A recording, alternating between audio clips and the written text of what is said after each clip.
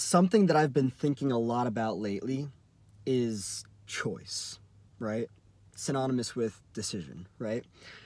But what it really boils down to is free human agency, right? Now, here's the fascinating thing about why I think that this subject will be a really fun thing to talk about, specifically um, in regards to where I am on my journey of healing. Um, for many reasons, in this case specifically and especially when it comes to trauma and abuse, one thing that I've noticed that abuse and trauma do to a person is, and I don't mean this literally, but metaphorically blinds them, right? When you are abused, um, and as a result of that, you know, the marring, the, sca- the scathing, all that stuff happens, you basically become blind to yourself. If somebody believes that they are unworthy, right? It's just a belief, but they are blind to the worth that they cannot see, right? Something that I've noticed that I think is very fascinating about what abuse and trauma do to a person is it kind of places their free human agency in a state of basically being clouded, you know?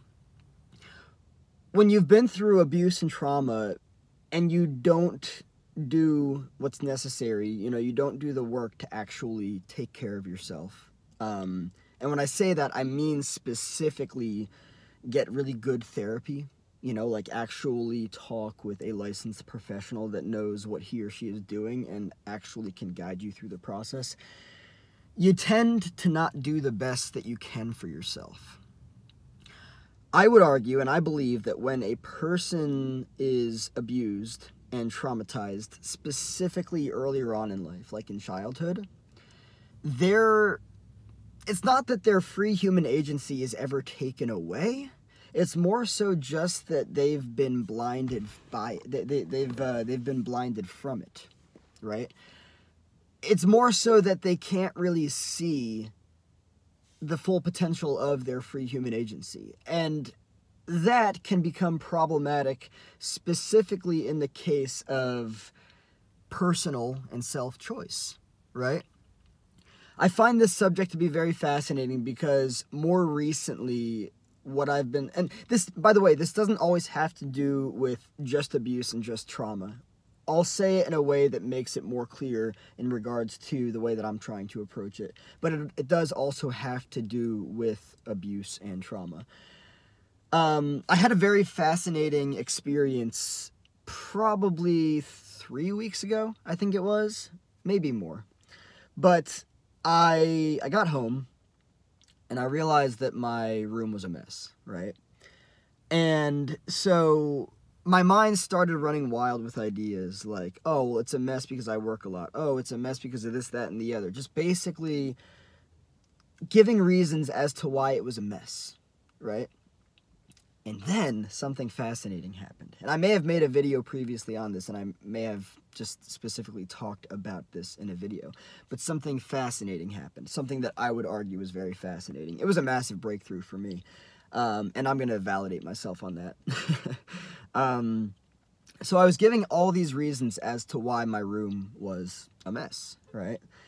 And none of the reasons had to do with why the room was actually a mess, right? And that's the fascinating thing here. The reason that the room was actually a mess was because I was choosing for the room to be a mess. Bear with me. Because I understand a lot of people might be like, why would you choose for your room to be a mess? Well, the same reason that, maybe not the same reason, but it comes down to choice, is what I'm trying to say here. You choose for your room to be a mess, just like you choose for your car to be a mess, just like you choose to open your phone and go on social media, just like you choose to pick up the remote and turn on Netflix, just like you choose to go out and go for a walk. The fascinating thing about this, and I really believe in this, is that every single thing that is in my life, every single person that is in my life, every single way that every single thing is in my life is because I have chosen for it to be that way. If I get into an argument with somebody, it is because I have chosen to. I mean, obviously and of course. However, the fascinating thing about that and more of the background towards that part of things if I choose to get into an argument with somebody, it might also have to do with what it is that I'm familiar with in terms of conversing with somebody and how I hold a relationship, right? Maybe I'm used to chaos and all that stuff, right? Don't get me wrong, you know, maybe conflict is going to arise in a relationship and it's going to spark a conversation, right? That's okay. How do you go about navigating that conversation? What is the energy dynamic like, right? It all comes down to choice. The more that I heal, the more I'm realizing that my free human agency, my capacity to make choices for myself, is becoming less and less clouded by all the things that it was previously clouded by. And it is such a fascinating experience to watch it all unfold because, like that moment when I sat down in my room and I was like, wow, my room is a fucking mess and then my mind tried to run wild with like oh well i work a lot you know I, I, I work too much i don't have time this that and the other all of these different reasons which i could also argue are maybe excuses right i finally boiled it down and i was like huh no it's a mess because I am choosing to allow it to be a mess. I'm choosing to keep it a mess. Just like I would be choosing to approach somebody in a violent way if I were to, right? Not that I, not that that's what the choice is, but just saying that that's the reality of things. And that might very well be because that dynamic would be familiar to me, it would be comfortable to me, right? Really, what this is all about is the capacity for a person to see their free human agency unclouded by a bunch of shit. And in many cases, that shit might be neurochemical familiarity and comfort. And when I say that, I mean, like, say for instance, your relationships are just always in the red, right? They're very high fucking throttle, you know, um, a lot of fire and smoke, right? You're just you're used to the chaos, you're used to all that stuff, right? So how do you approach it? How do you respond? right? And that's comfortable and that's familiar, right? And if that is if that ends up being the way that you choose to respond even after your, you know, your free human agency is unclouded, you can but I wouldn't believe that somebody would continue to approach things from that standpoint after their free human agency is unclouded because maybe they would realize what that does to their health. Maybe they would realize that that doesn't fucking work anymore, right?